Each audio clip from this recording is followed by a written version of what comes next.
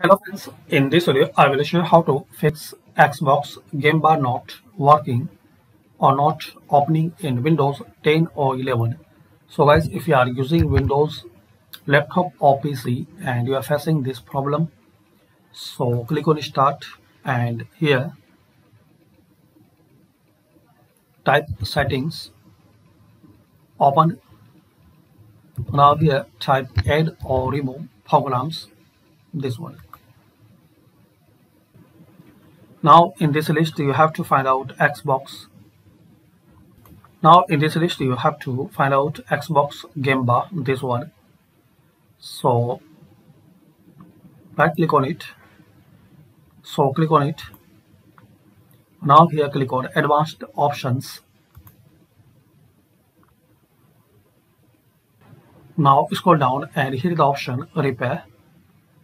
Firstly try this first one repair if this app isn't working right, we can try to repair it.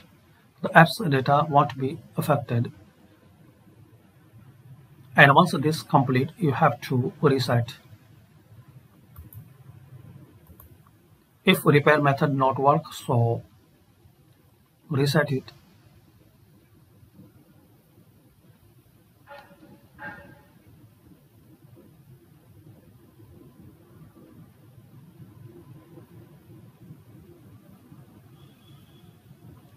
Now close it and restart your system. Still you are facing problem after restart so you can try second method.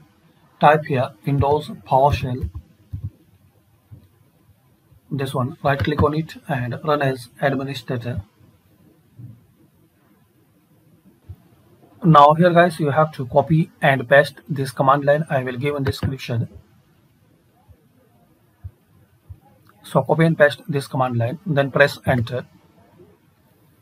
Now complete this uh, process and once uh, this complete, again restart your system. So hopefully guys using this simple and easy way we can fix and resolve